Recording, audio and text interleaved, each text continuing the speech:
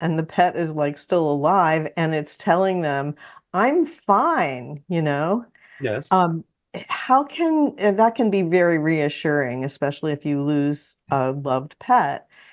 How can you generate an experience like that? Or can you communicate with your pet and ask them, please come in my dream and tell me how you are, or something yes, like you that? can.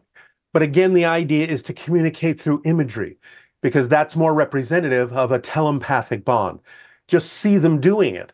Just see yourself interacting with them in your imagination, in your mind's eye.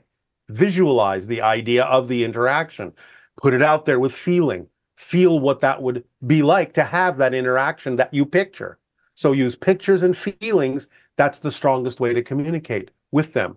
And sometimes when you have those dreams, even though your pet may still be alive, the idea is that your animal is also telling you that they exist like you do in spirit and that physical reality is simply a part of them and a temporary thing, but that your natural state is spirit. You never really leave it, and neither do they.